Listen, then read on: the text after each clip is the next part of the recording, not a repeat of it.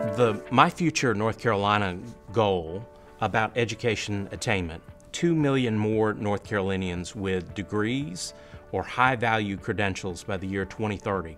It's critical to our future as a state, as a people, to lift up those individuals, provide them more educational and economic opportunity. Now, we've clearly experienced a setback as a result of the pandemic. You can see it in the decline in community college enrollment. Students maybe felt uncertain about the future or their jobs, or they felt as though online learning wasn't necessarily for them. I worry about that. Uh, that obviously affects the community colleges, but it affects so many of those students who will ultimately transfer onto the university for their four-year degrees as well. We're going to have to make up for lost time, make it easier and uh, more affordable for North Carolinians to access the type of degree or credential program that will enable them to live up to their full potential.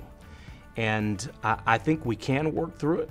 Uh, it won't be easy, but we've got to have a great deal of focus on achieving that educational attainment goal so that North Carolina can remain economically competitive.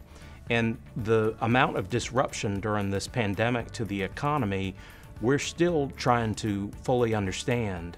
But one thing we know for sure, it will be necessary to have additional educational opportunities for every North Carolinian if they're going to be able to provide for themselves, provide for their families, and for North Carolina to realize its full potential.